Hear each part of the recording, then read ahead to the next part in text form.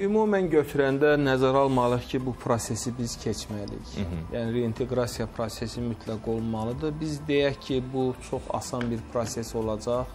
Xeyr, bu asan bir proses olmayacaq. Nə qədər ki cinayətkarlar, nə qədər ki separatçılar Qarabağda meydan suluyurlar, onlar bu prosesə mane olmağa çalışacaqlar. Bu Azərbaycan əslində elə bu məqamda çox doğru zamanında bir addım atdı ki, hər bir cinayətkar cəzalandırılacaq. Hı. Yəni təkcə keçmişdə baş verənlərdən söhbət getmir. Bu gün biz Qarabağda nə baş verir, onu izləyirik və bu proseslərə mane olanlar, cinayət törədənlər, separatizmi təbliğ edənlər, dəstəkləyənlər onlar mütləq cəzalandırılacaqlar.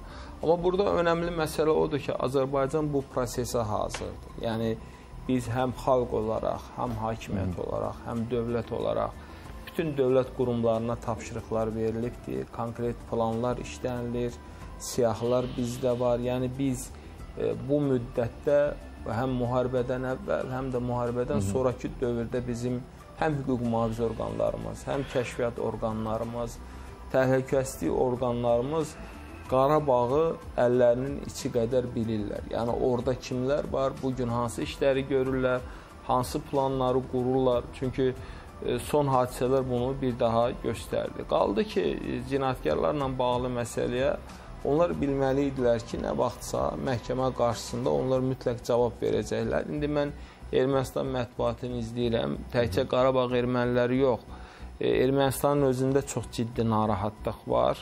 E, ermənilər beynəlxalq qurumlar qarşısında, ayrı-ayrı səfirliklər qarşısında E, dövlətlər qarşısında bunu adam oğurlanması kimi təqdim etməyə çalışırlar və bir neçə gündür davamlı olaraq müxtəlif beynəlxalq təşkilatlara müraciətlər edirlər. Bizim isə əlimizdə faktlar var, prokurorluq orqanlarında var və bilirsiniz ki, bir neçə gündür hüquq mühafizə orqanları bununla bağlı prokurorluğun açıqlamaları oldu, faktlar var, şəkillər var, hansı ki, bu şəkilləri özləri yaymışdılar.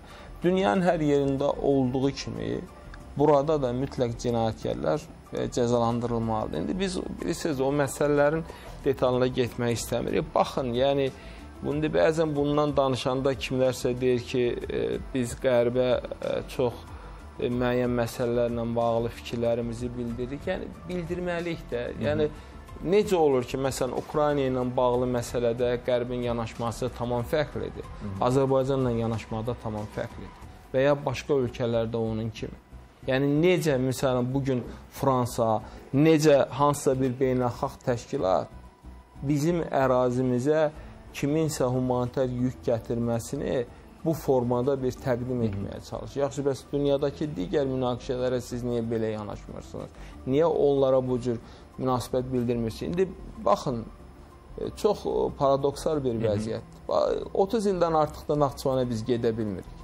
Yol bağlıdır. Hı -hı quru yolumuz yoxdur. 30 ildə Ermənistan bu qədər cinayət törədib, dağıdıb, e, dəfələrlə bunu sizin studiyada da müzakirə eləmişik. Niyə Ermənistana heç nə deyilmir? Niyə Ermənistandan heç bir hesabat soruşulmur? Niyə deyilmir ki, bax bu Ermənistanda, Qarabağda olan cinayətkarlar bu cinayətləri niyə törədiblər? Əslində indi BMT beynəlxalq təşkilatları, cənab prezidentin bir e, çox e, dəqiq bir ifadəsi var. BMT-nin Təhlükəsizlik Şurasının elə qərarları var ki, elə anında icra olunur.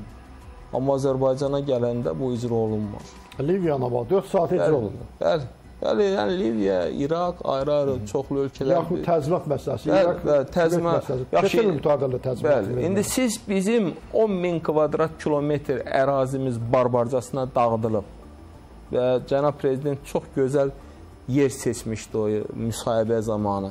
Baxın o arxadakı Hı -hı. Şuşuya, görün nə formadadır. Niyə siz bundan bir bağlı bir haykü e, salmırsınız? Yəni de, yenə də qayıdacağam. UNESCO niyə gəlmədi? Hı -hı. Bu da sizin təşkilatdır da. Niyə gəlib baxmadı? Niyə bunun qeydiyyatını aparmadı? Niyə gəlib bu məscidlərin bu formada dağıdılmasına münasibət bildirmədi? Amma indi siz bu 20 dənə maşın hansı ki içində biraz şəkər var, içində biraz nəsə baş aldatmaq üçün azuqa var. Siz bunu böyük bir hadisə, rezonans, bir ajetaj yaradaraq böyüdürsünüz ki, Qarabağda böhran var. Bəs yaxşı bizim başımıza gələn nədir? Özdə buraxmamaq məsələsində yoxdur. Deyir ki, başqa yoldan Göl də, göl, bəli, bəli. Yaxşı 1 milyon qaçqını, məcburi köçkünü indi bayaq da 80-ci illərin sonu təhsil Ermənistandan 250 min Azərbaycanlı deportasiya olunub. Mən onları öz gözümlə görmüşəm. Bizim ərazimizdən keçəndə paltarı yox, ayaqqabısı yox, qışın günündə necə yaxşı Niyə biz o məsələni qaldırmamalıyıq? Niyə siz məsələ qaldırmırsınız ki, bax o 250 min insan öz torpağına qayıtmalıdır? Niyə onunla bağlı heç bir fikir yoxdur, heç bir məsələ yoxdur, amma siz gəlmisiniz. Yaxşı, Zəngəzur dəhlizi ilə bağlı. Fransa 10 noyabr razılaşmasına istinad edir. 10 noyabr razılaşmasında qeyd olunub ki, qeyri-qanuni silahlı qüvvələr çıxarılsın. Niyə çıxarılmayıb? Hanı reaksiya? Koridor verilməlidir, açılmalıdır. Niyə bu günə kimi bu olmuyor?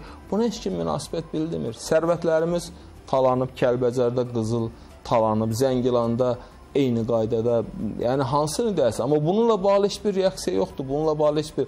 Amma bu gün gəlib bu formada bir Azərbaycanı təzyiq cəhdin bunun özü anlaşılan deyil. Və bu onu göstərir ki, yəni müəyyən güclər bölgədə yenidən gərginliyin yaranmasında maraqlıdırlar. Yenidən e, indi bilirsiniz, indi maraqlı odur ki, bu oyunda e, artıq bütün tərəflər birləşiblər. Yəni bir tərəf deyil. Görünən odur ki, bütün tərəflər, yəni bu e, hətta region dövlətləri də bu gərginliyin yaranmasında maraqlıdırlar. Onlar Qarabağdakı ermənilərin reinteqrasiya olmasında maraqlı deyirlər. Buna mane olmağa çalışırlar. İndi burada tutaq ki, Rus sülhməramlı kontingentlə bağlı məsələlər var, bir sıra dövlətlərlə bağlı məsələlər. Amma bizim təklif elədiyimiz nədir? Bizim təklif elədiyimiz odur ki, bölgəyə sülh gəlməlidir və bu bölgəyə sülhün gəlməsi də həm region dövlətləri üçün, həm də dünyamız üçün çox önəmlidir. Və Azərbaycan buna mütləq nail olacaq. Düzdür, bir uzun, ağır prosesdir.